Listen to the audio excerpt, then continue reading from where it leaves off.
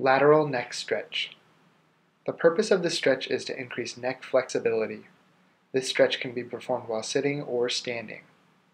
Starting with good posture, place your right hand on your left temple and gently pull your ear to your right shoulder and hold for one minute.